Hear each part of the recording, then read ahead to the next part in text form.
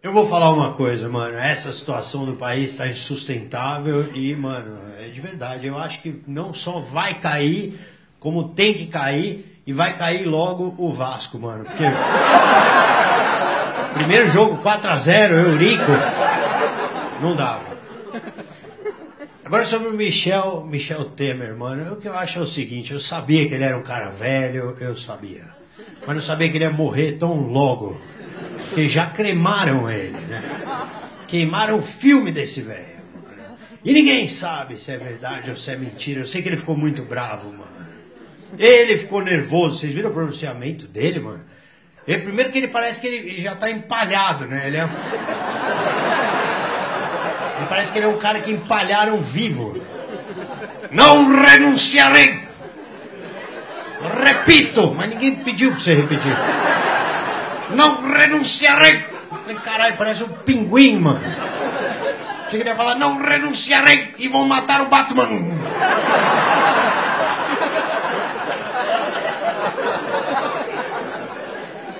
Ele é o pinguim escrito, mano. Que cara bizarro, mano. Agora também, o dono da JBS é uma coisa que não dá pra entender como é que um cara bilionário, né, mano, vai, porra, chamar Joesley. Joesley não é pra ser, ser dono da JBS, é pra ser, dono de um CC. Ser dono de um cheiro de sovaco. Mas sabe o que que é foda? É que esse cara, ele, ele consegue ter um português muito ruim, velho. Ele não fala português, ele erra todo, todo plural, ele erra, você viu? Precisamos subornar os ministros. E, entendeu, senhor presidente? Ele erra tudo. Mano, ele é tão ruim que o Lula ligou pra ele e falou: tá muito analfabeto, velho.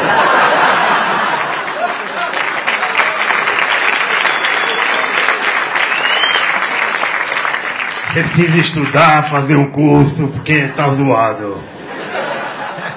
Imagina quando sair, mano, a fita dele conversando com o Lula. Vai parecer Cidade de Deus o bagulho. Qual é, dedinho? Dedinho, caralho. Meu nome agora é Triplex Pequeno, porra.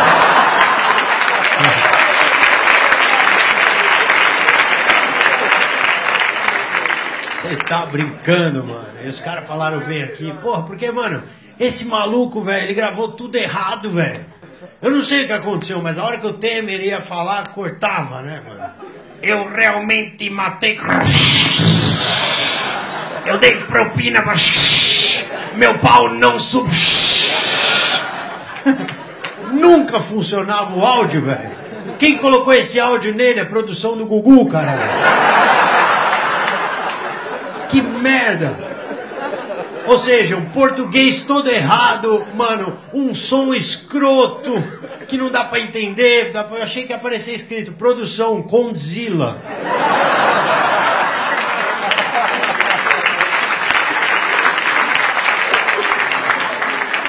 Só por Deus, mano. Bagulho ruim demais, mano. Eu vou falar, mano. E a carreira do Aécio? né? Acabou. Pra variar. tá sempre acabando. Mas dessa vez não volta. Impressionante, né, mano? O senhor Aécio, pelo amor de Deus, hein, velho? E a irmã dele foi presa, porra, e eu fiquei surpreso, porque a irmã dele é horrível. Meu Deus do céu, que mulher feia, parece um cavalo. Eu juro, acho que o Sandrão vai ver ela na cadeia e vai falar: Não, mano, o bagulho tá ruim, vou esperar chegar a Dilma.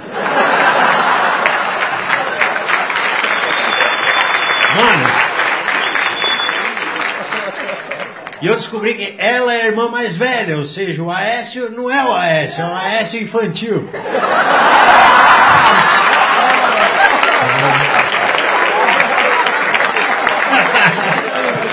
É que tem mais um pouquinho. assim.